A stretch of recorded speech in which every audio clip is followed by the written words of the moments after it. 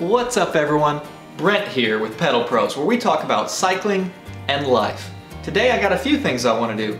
I'd love to be going to get a haircut because this is a disaster.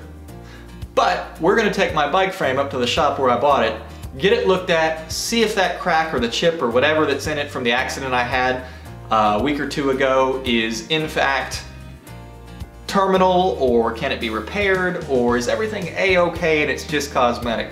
I don't think so, but perhaps. The other thing, my coach works up there on Mondays, so we're gonna stop by, see him, see what's up. But before we do any of that, man, I gotta get some coffee. Let's go.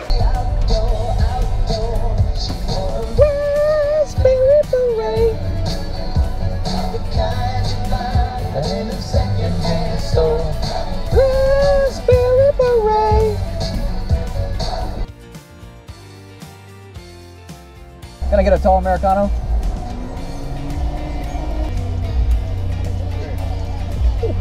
Okay. So I went a little bit out of the way to get some coffee because that's where I go every Monday and Wednesday when I'm usually on my way to work. They make good coffee, they have good people, and it's super convenient right on Cypress North Houston over here. So now we're headed out to Bike Lane. Let's go see what they say.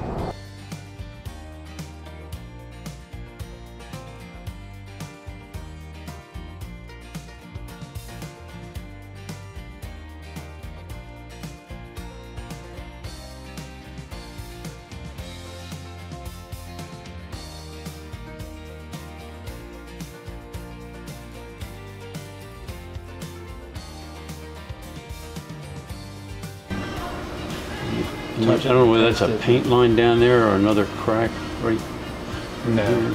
Can you x-ray these things to see them? Yeah, but it's not going to tell you anything more than touching it. Hmm. Well, I don't want them to find my motor in there either, you know? Yeah. True. All right, so Bike Lane's gonna take a look at it. Things don't look good right now, but we'll see what they say. We'll come back and we'll go from there.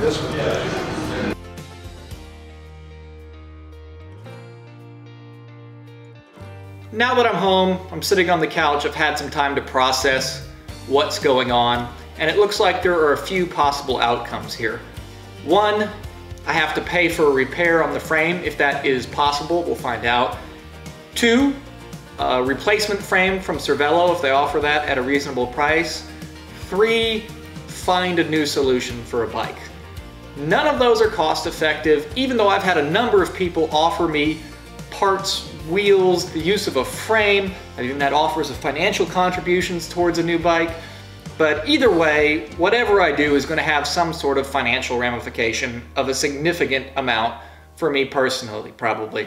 And that's okay. The issue with that is that I very much want to get back to racing. But Lainey and myself are very much looking forward to the opportunity to move. This house that we're in is a great house, but there's it's not a great place for our kids. And so that is priority for our family. Now, if it was just me by myself, new bike, move, I'm buying the new bike and punting the, the financial obligations to getting this house ready to sell and moving into a new one down the road a bit.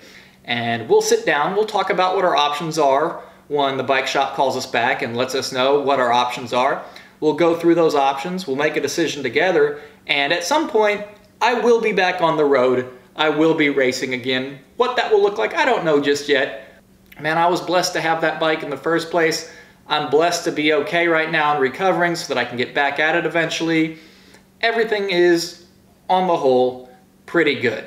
I'll keep you guys updated when I hear back. If you haven't seen the video yet, go ahead and check out the card up here of what happened, the crash that caused the need for these repairs. And I really appreciate you guys watching. Click the link over here to subscribe if you haven't done so yet, and I'll see you next time.